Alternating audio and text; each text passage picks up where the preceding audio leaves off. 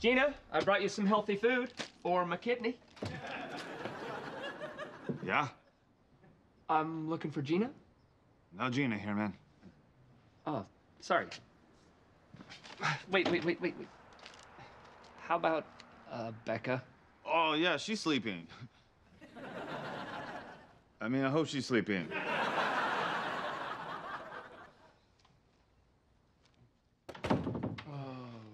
God.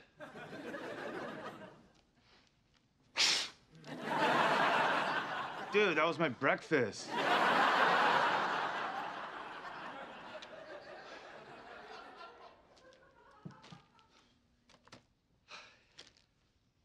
Gina. Gina, Becca. here, have some almonds. Oh, cool, thanks. Hey, hey, Oh, true. It's the kidney time. Let me just brush my teeth. what happened to saying clean and sober?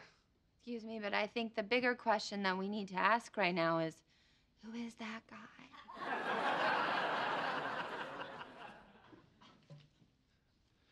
What is the matter with you? I mean, do you not understand that this is life and death for me? I have a daughter who needs to have a father. I know, I know. No, you don't. See, I, I knew I couldn't count on you.